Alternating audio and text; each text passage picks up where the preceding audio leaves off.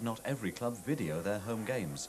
However, we've managed to find a hundred scored by the Blades during the centenary season.